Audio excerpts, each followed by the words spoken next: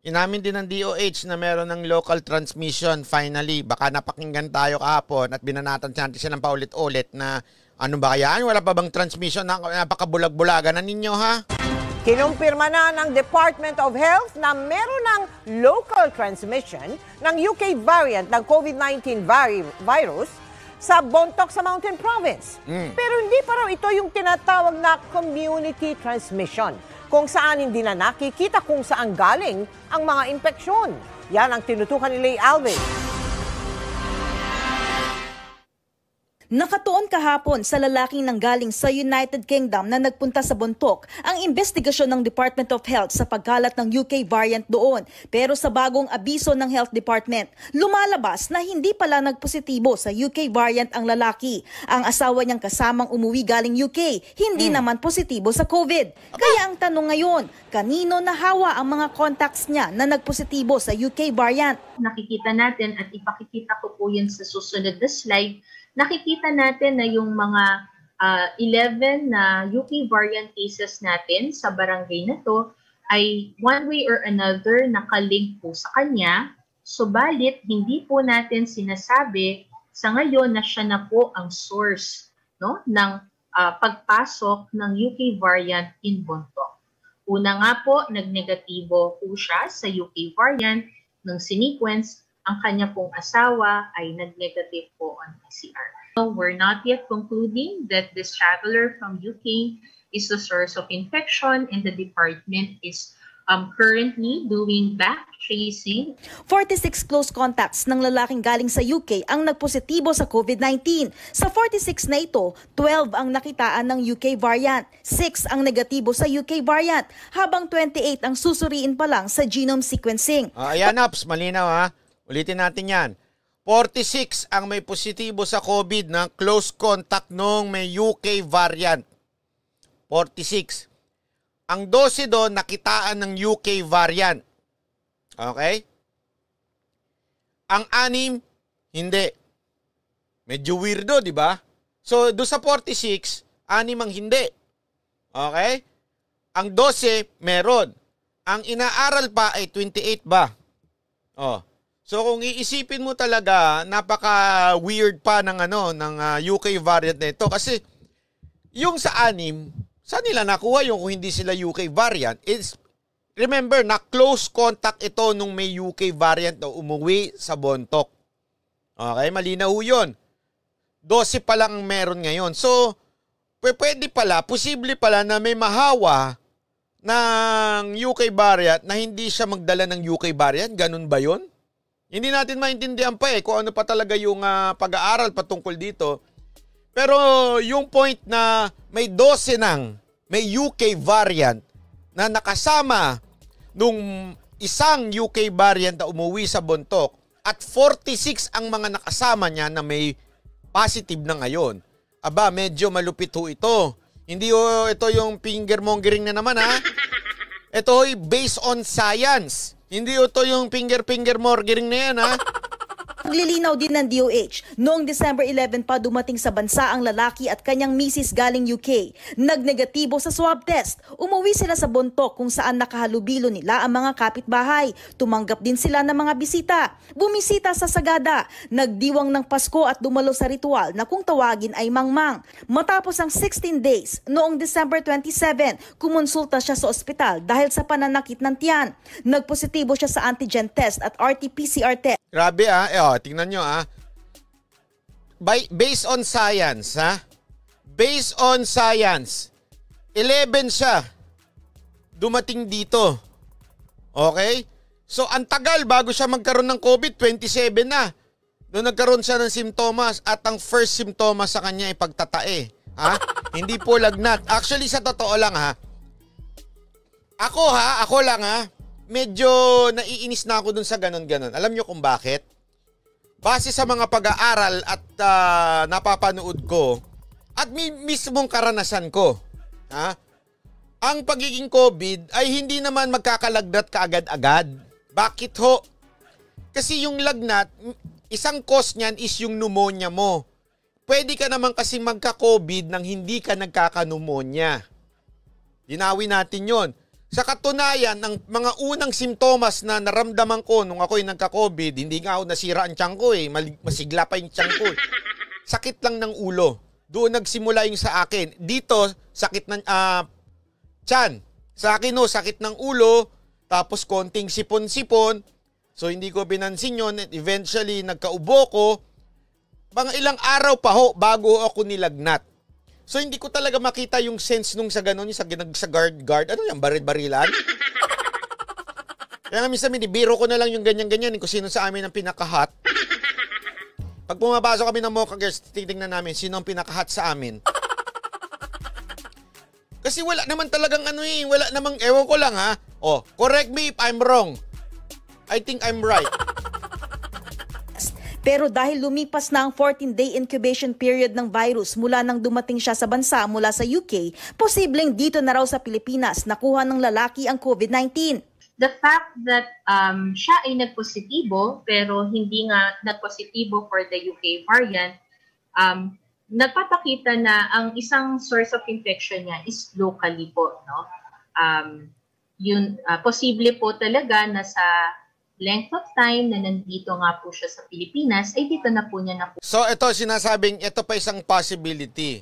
Okay? Hindi daw niya nakuha yung UK variant doon at dito niya nakuha. Eh di ganun pa din yun. Nandito pa rin yung UK variant. The fact na uh, nandito yun at may, maraming mayroong UK variant doon sa lugar na yun, eh may, trans- may, may ano na talaga, merong uh, community transformation mga transformer, transformer. Ang kanyang uh, infection. Ang hawaan sa buntok, indikasyong may local transmission na roon ng UK Yo, variant ng COVID-19 virus. There is ongoing local transmission in buntok. Meaning, pag may local transmission, nakita natin na ang isang local case ay nang hawa ng isa pa pong local case. At nakikita natin no, na i-establish pa natin saan yung sources of infection at paano yung pagkadugtong-dugtong ng kaso to each other. Hindi pa raw ito community transmission kung saan marami at kalat-kalat na ang mga kaso at hindi na nakikita kung saan galing ang mga impeksyon at pagkakaugnay-ugnay ng mga ito. Ang isang kaso naman ng UK variant sa La Trinidad Benguet na isang 22-year-old na lalaki, inaalam pa ang travel at exposure history. Negatibo na siya sa COVID nang muling itest nitong January 23 pero nananatili pa rin siya sa isolation. Apat na kaanak niyang kasama sa bahay ang positibo rin sa COVID.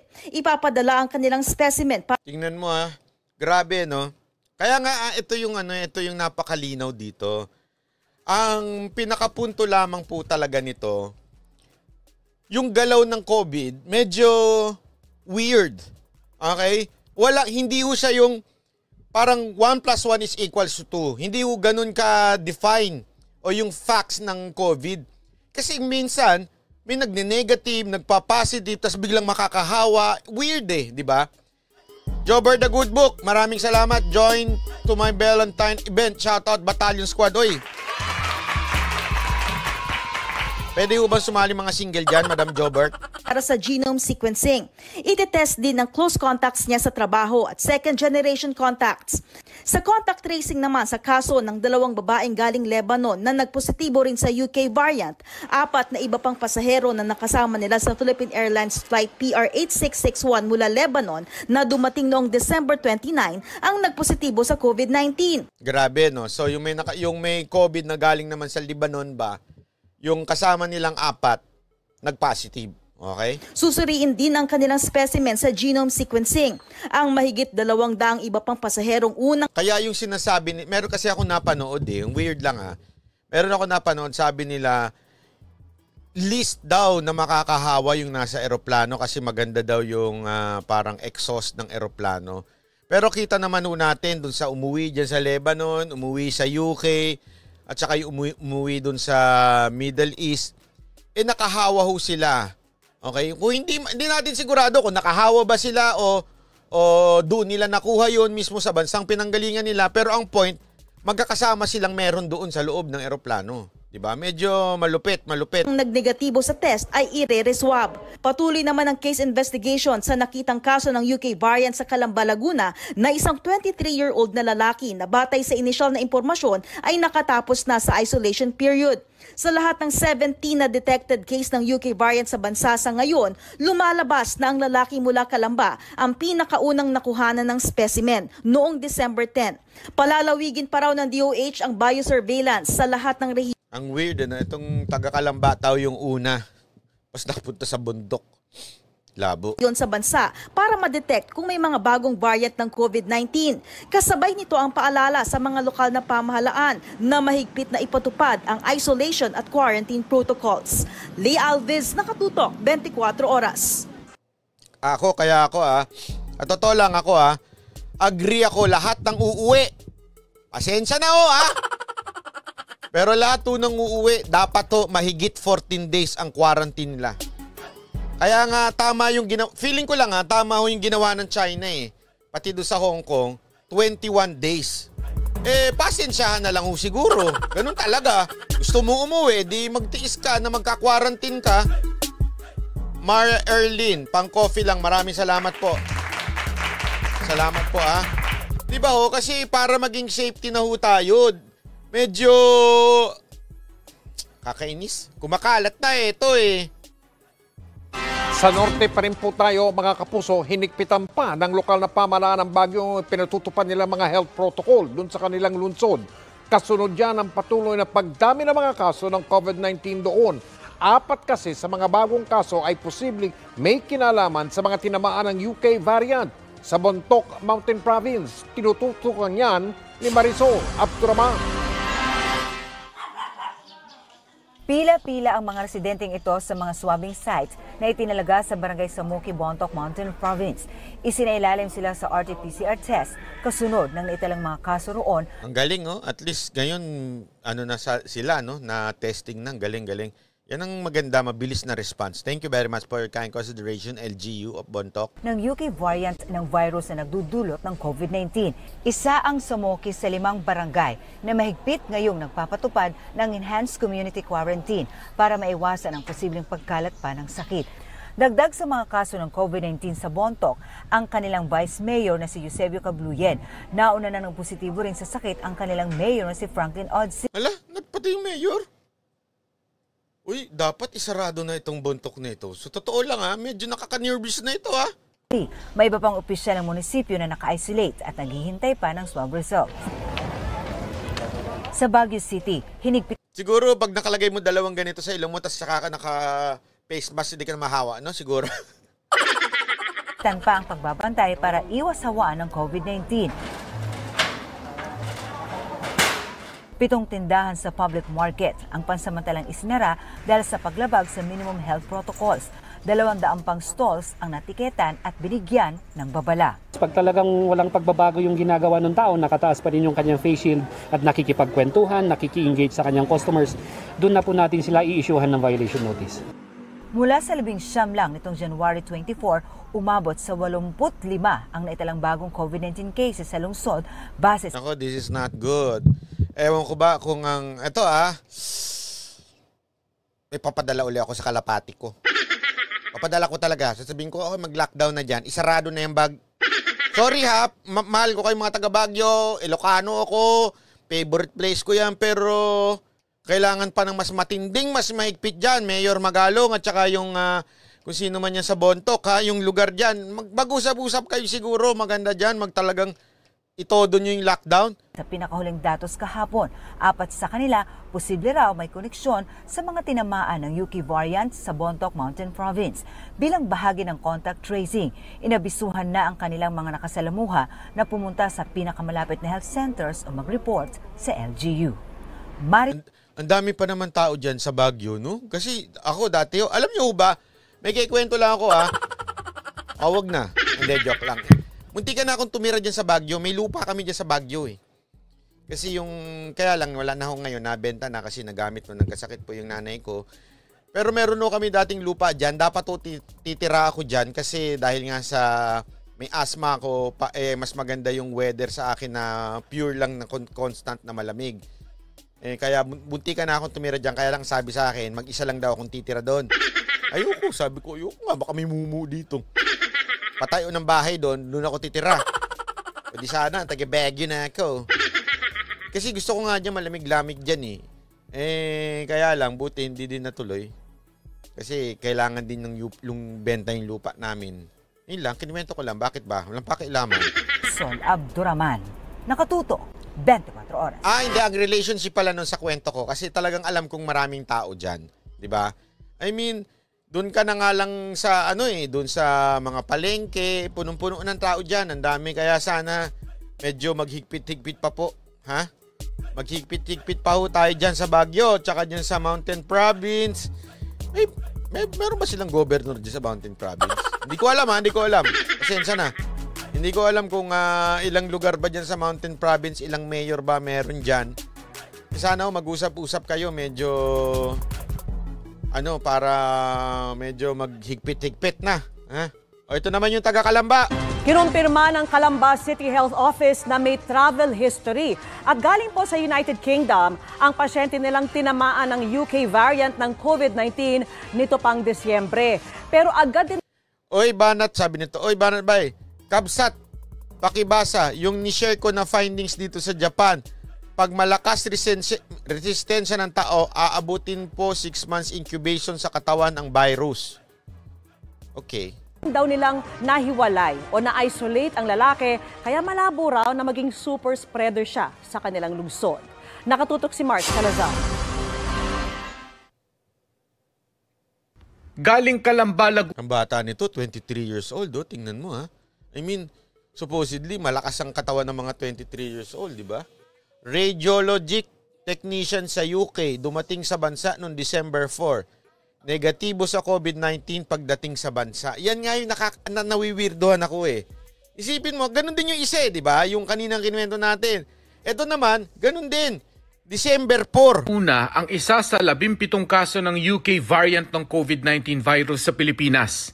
Dumating daw siya sa bansa noong December 4 mula United Kingdom, labimpitong araw bago magpatupad ang Pilipinas ng travel restrictions sa UK. Negatibo siya sa COVID virus pagdating sa bansa, kaya nakauwi sa Kalamba. ito ay isang uh, employee uh, na based sa ano based sa UK. Uh, health personnel ito doon eh. Uh, isang uh, radiologic technician sa UK ang trabaho nito. And then uh, umuwi last December 4. Pero matapos ang dalawang araw, nakaranas ng mga sintomas ng COVID-19 ang lalaki. Ah, dalawang araw. Nagpa-swab test siya sa isang clinic sa Maynila noong December 10 at nag-home quarantine. December 16, nakumpirma ng City Health Office na positibo nga sa COVID. Grabe, ang tagal naman nun. Anim na araw. Nagpa-swab siya ng 10. Nalaman lang December 16. Ano ba yun? Eh kung sabi niya nagpa-quarantine, sige, sabihin na natin totoo nagpa-quarantine. Pero minsan kasi pag wala ka pang resulta, palabas-labas ka pa eh. ang pasyente. Matapos ang isang buwang quarantine, nagnegatibo na siya sa COVID-19 itong January 16. Bumiyahe na pabalik sa UK noong January 18. Kaya nakaalis na ng bansa ang pasyente nang makumpirmang UK variant nga ang tumama sa kanya. Then nag-request ang DOH na So wala na pala sa Pilipinas yung tao. Iniwan lang niya yung UK variant. Ay nako, medyo ano ha, medyo mahina ng onte yung ano diyan ha. So late na nila nalaman, December 16 na nila nalaman. Ay hindi, ngayon lang nila nalaman, nandun na. Isang buwan. May gali. Isang buwan na nalaman bago malaman na UK variant. Okay, fine. pagpadala ng, ito na lang, ito na lang yun, lately na lang, ito na January, hindi ko napagdala yung date, na kung merong natira na, ano, natira na specimen dun sa original swab, ipadala doon sa, ano nga, uh, for genome sequencing. At uh, true enough, uh, lumabas na UK variant. Dapat pala. Nag- may pasalubong pa siya sa mga kamag-anak niya pag uwi niya, no? Pambirang buhay, ire, oo. Ay, nako! Agad naman daw binantayan ng Calamba City Health Office sa mga nakasalamuhan ng lalaki. Umuwi lang doon sa bahay ng kanyang ninong since na nalaman na nag-positive, nag-isolate kagad siya. Meron namang separate na separate na bahay, yung ninong niya. Minonitor namin yung yung mga yung ninong as well as yung kamag-anak. So far naman walang ano, walang ah, lumabas na ah, positive case. Giit naman ng alkalde ng Kalamba dahil na-isolate agad ang lalaki, hindi raw kumalat ang sakit. whether or not he has a new variant or doesn't have the new variant, he was quarantined. So, na-quarantine siya. It's just that we don't know that time that there was a new variant. variant. So, hindi siya nag-spread domestically. Lumabas nga yung issue ng new variant, nakaalis na rin siya. He was isolated from the rest of the group. Hindi siya yung nag-super spreader. Sabi ng DOH, hindi konektado ang kaso ng UK variant sa Calamba, Laguna sa La Trinidad at Bontoc Mountain Province. Mark Salazar, nakatutok 24 oras. Mm. Ito po yung balita na magti-21 days ang China ha. Tingnan nyo. Sa ilang kalapit na bansa, hindi lang labing apat na araw, kundi hanggang dalawamput isang araw po ang quarantine. Inoobserbahan daw kasi ang incubation period ng virus na nagdudulot ng COVID-19. At ngayong nasa Pilipinas na ang mas nakakahawang variant ng COVID-19 virus, eh dapat na rin bang habaan ang quarantine period sa ating bansa? Ang sagot ng ilang eksperto sa pagtutok ni Maki Pulido. Dati, ang mga Ayun na si Grace Life. Hello po, Grace Life. Late po kayo. Gumagaya na ako kayo kay Anatot ha. papasok ng Pilipinas, kailangang mag-COVID RT-PCR test sa airport at manatili sa quarantine hotel habang hinihintay ang resulta. Ah. Makakalabas ng quarantine kung negatibo ang swab test. Na magka-UK variant, kahit negatibo ang swab test pagdating sa airport, kailangang mag-quarantine ng limang araw. Uulitin ang swab test sa ikalimang araw at kung negatibo, maaaring kompletuhin ang 14-day quarantine sa bahay habang minomonitor ng lokal na pamahalaan. Pero mas mahigpit sa ilang kapitbahay nating lugar. Sa Hong Kong halimbawa, tatlong linggo o 21 So uulitin after 5 days. Tapos after 5 days, uulitin yung swab ng mga uuwi. At pagka nag-negative, i pap uwi na daw kayo sa mga probinsya ninyo. Tapos bahala na yung local government nyo na magbantay sa inyo for uh, 14 days. Sa tingin nyo masusunod yon? Ito naman DOH, oh. Sa tingin niyo masusunod yon pag tinransfer nyo na sa LGU yung tao? Sa tingin nyo, babantayan nyo ng mga barangay? Oy, huwag ka muna lumabas dyan ha for 14 days. Siyempre, nakita na nilang negative. Ah, sabi niyan, okay na yan. Grace Life in USA, late po, Sir Banat by shoutout po. Sa Solid Banateros, love you all, love you too. Medyo sana, medyo bagu-baguhin naman yung ano ha, yung ah, patakaran na yan. Kasi ano eh, delicates eh. Ano yun? Sigurado ba kayo magbabantay ang mga LGU dyan? Parang hindi naman, di ba? Eh, eh, sa ibang bansa nga, umaabot na ng 21 days. Ngayon, tayo, iniklian pa natin. Ano ba yan?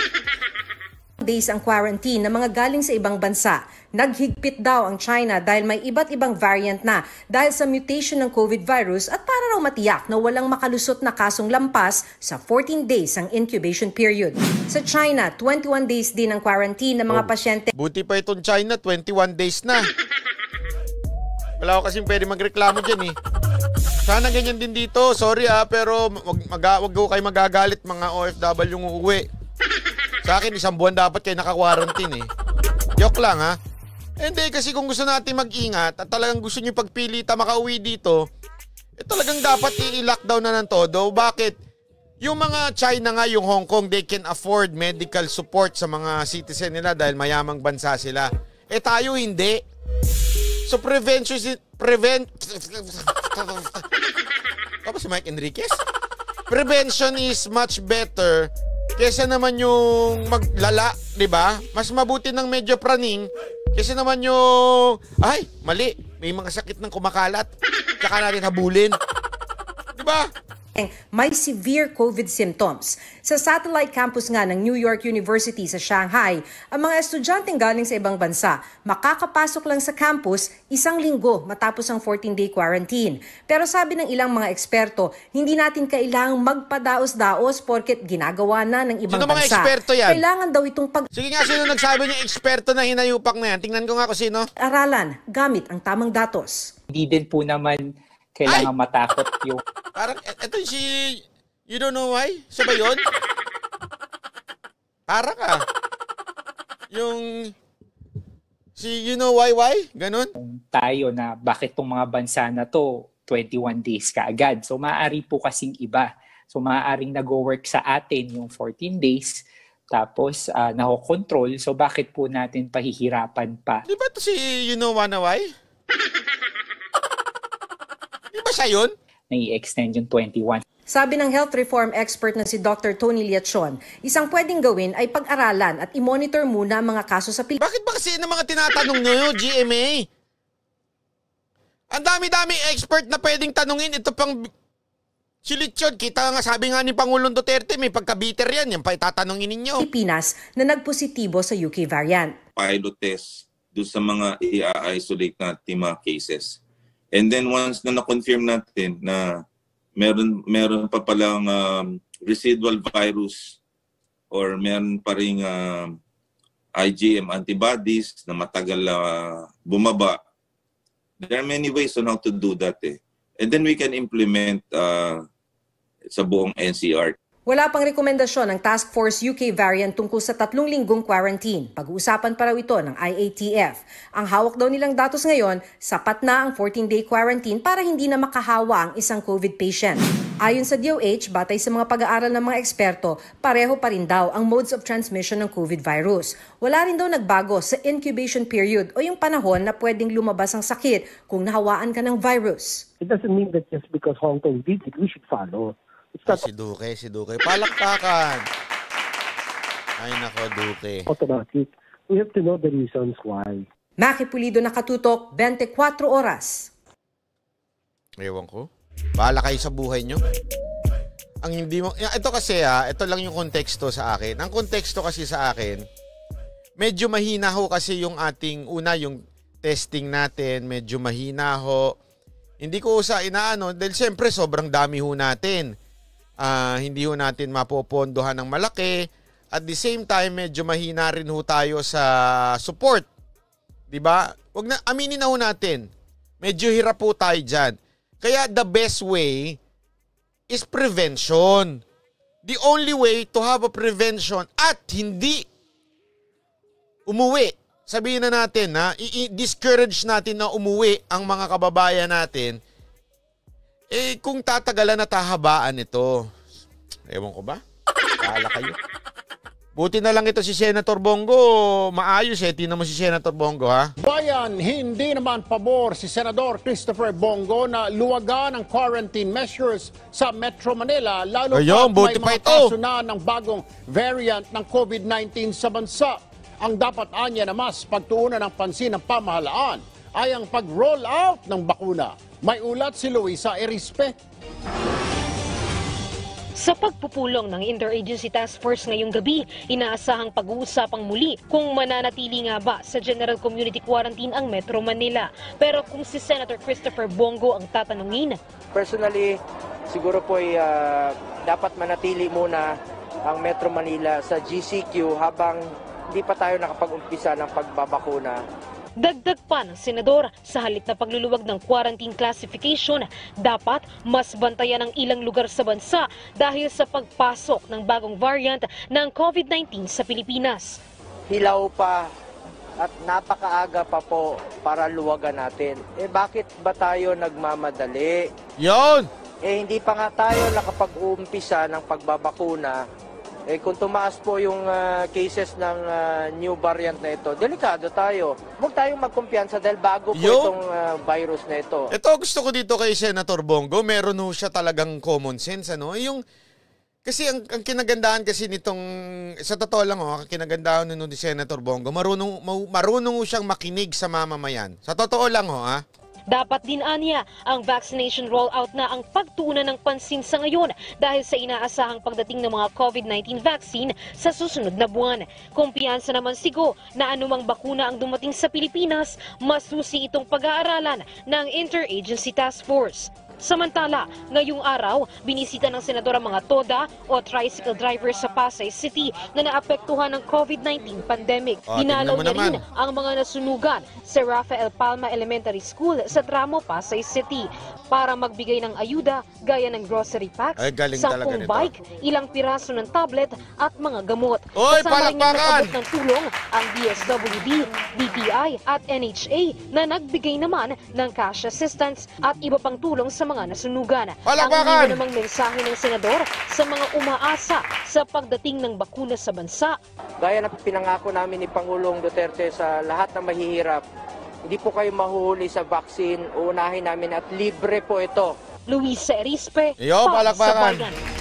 Alam mo ah, sa totoo lang talaga ah, eto, baka sabihin na naman ng iba, first year pa lang ni, ni, ni Bongo ito. Ha? First year pa lang ni Senator Bongo. Ibig sabihin, mahaba pa ang taon niya maging senador. Hindi niya kailangan kumandato sa 2022.